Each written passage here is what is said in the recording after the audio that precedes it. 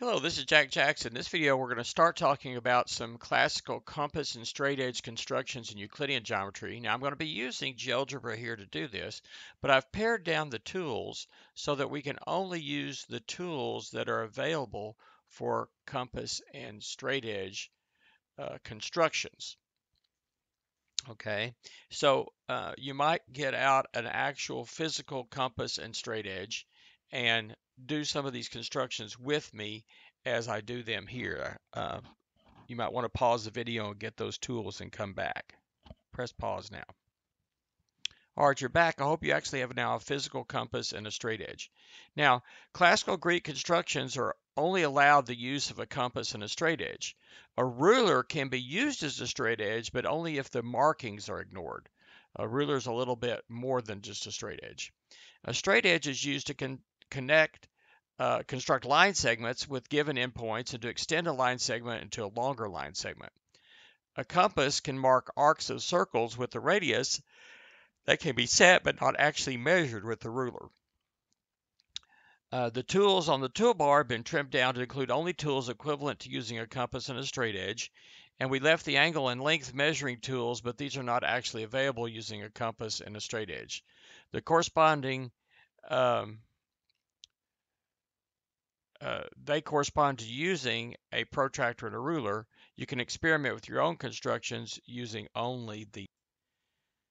Now, basically, we have what can you really do? You can you can make points, right?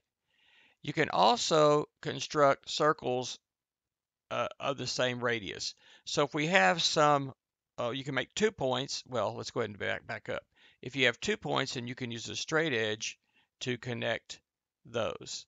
We can use a straight edge to connect to extreme, extend this to a longer line segment or theoretically array or even a whole line.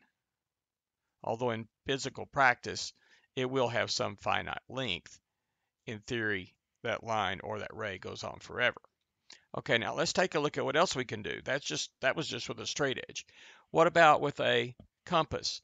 Well, basically, the thing you can do with a compass is once you have a line segment or two points with a distance, then we can create a circle of that radius. We can mark out equal distances. A circle, remember, is a set of points in a plane which are equally distant from a given point called the center. Here, the center is a D. So if you got your physical compass, take uh, make two points.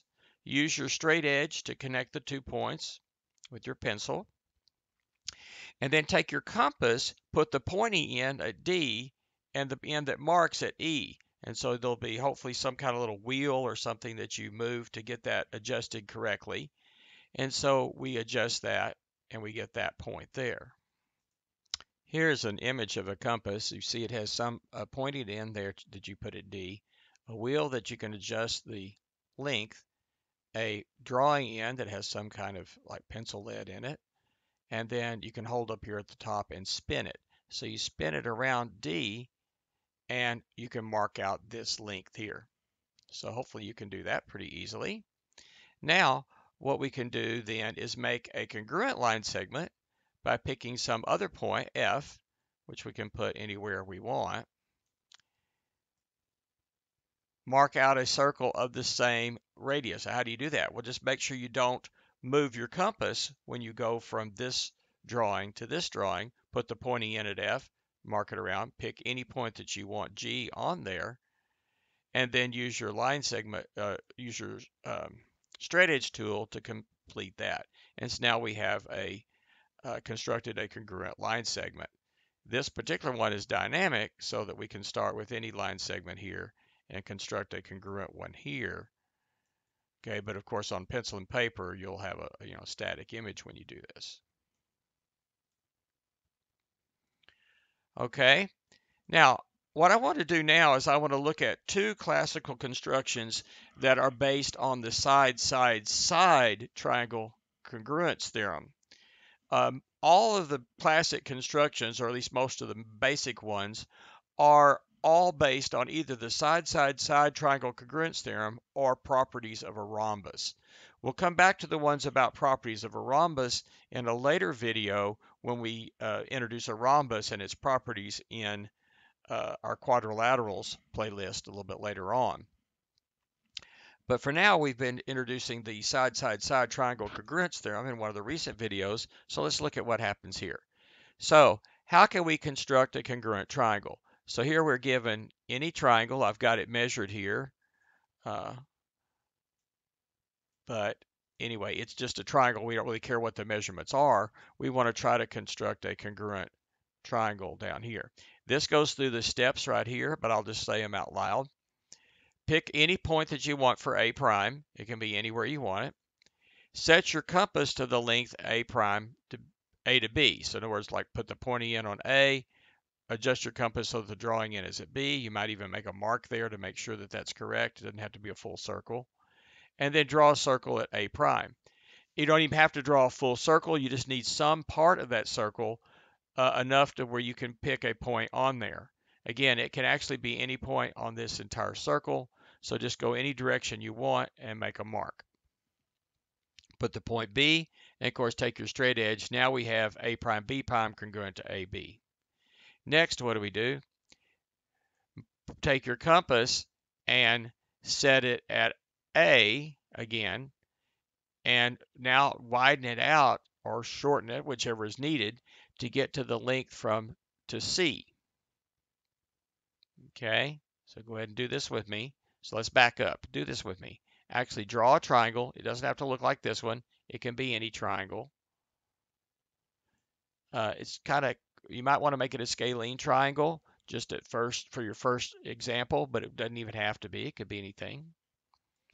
Then pick another point, draw that, make an arc of a circle there. You're going to make a little mark here at B just to make sure you got the right length. Make a mark here, make your B prime. Take your straight edge, connect this up. Pause the video at any time if you need to catch up. And then take your compass now, put it at center today, make the other, make a little mark here at C so that you got the right length, make a circle here. Okay. Uh, you might want to make the full circle or at least a good piece of it. Okay. Then you want to do the same thing centered at B, measures from B to C and make a circle there of that radius. Now, the uh, the, the triangle we're looking for is going to be where these two circles meet. You have two choices. You can pick either one. So we pick that one, and then we can finish up our triangle. Okay. And uh, this one is kind of oriented in the same way uh, where we can get from this one to this one with a with a translation and maybe a rotation. Uh, had we picked the other point, it would have been it would require a reflection uh, along with maybe a translation and rotation to get it to where we need it to be. So there we have, but either way we get a congruent triangle. So that makes, we, we constructed it with side, side, side. What were we able to do? We were actually able to mark out equal distances with our compass. And from that, we were able to make sure that we construct a triangle. Now, how do we know this triangle is congruent? Well, we have the side, side, side triangle congruence theorem. And so that means these angles are congruent as well. So that's how you can construct congruent triangles. And notice that it's based on that side, side, side theorem. How do we go about making a congruent angle? Let's start by making an angle. It can be an obtuse angle, an acute angle. Let's don't go with the straight or zero angle. Uh, let's go with a proper angle of some kind. And it doesn't matter any proper angle that you pick. Obtuse or, or acute or right. Just pick one. And draw that physically on your paper. As I said before, pause the video anytime you need to get this done before we go on. Now we want to make a congruent angle. Well, we don't have a congruent angle tool. We have we don't have a protractor. Okay. If we had a protractor, we could measure this angle and use the measure to help us draw another angle. But if we only have a compass and straight edge, how are we going to do it? Well, once again, remember the side, side, side property. Pick another point and just go out a certain distance, uh, uh another point and just draw a ray. Again, this can go any direction that you want it to go. Let's say here. Okay. Next, uh, pick a point any point that you want on this ray here, any point that you want, and go out a certain distance. Go out that distance and make a circle. This doesn't really have to be the full circle. It has to be enough to, you know, go where it touches here, but also it has to go where it touches the other side of the angle. That might be longer if it's obtuse, uh, or more of a, uh, you know, a larger arc of the circle if it's obtuse than it will be if it's uh, if it's acute. But but just draw that part of the of the thing. You can draw the full circle if you want. So now then identify this point here where it intersects the other ray. Now let's take our our uh, our our same uh, setting without moving the compass settings. That's the key. Without moving the compass setting, instead of taking this point here at H, take the one at H prime as the center, make the circle. Mark that. That will be either K prime or L prime, whichever one you want to call it. I call it K prime. Now we measure from K prime to L using our compass. Make that measurement. And without changing the compass, come down here and do a circle centered at K prime. We have two places where these two circles intersect. See these two circles, they intersect here and here. Pick one, doesn't really matter which one. Let's say that one. And then complete that, and there's your ray and now you have congruent angles. This, like I said, this one is is dynamic, so if we do an obtuse or acute angle, it will give us the correct thing. Now, why does it work? Well, it works because those are congruent isosceles triangles. And why are they congruent? Because of the side-side-side period. Because these two original circles here that were purple in this picture uh, I have the same radius. All these blue line segments here, uh, here, here, and here uh, are all are all the same length. So those are isosceles triangles. And then we also made sure that the this length here and this length distance here were the same. So that made these two green sides the same length as well. So those are two congruent sides. So now all corresponding sides are congruent. By the side-side-side property, we get that these two um, triangles are congruent triangles. And of course, that means that their that their uh, angles that they have there will be congruent. So you can see these do have the same measure. If we were to get out a protractor, we could measure it. But uh, the point here is we can construct it without actually having to measure it. So those two triangles are congruent Therefore, we can construct the two angles that way. You don't necessarily have to draw in the whole triangle. Once you get to this point here, then you have the, uh, the congruent angle. So those are two very classic constructions, uh, making congruent angles and making congruent triangles.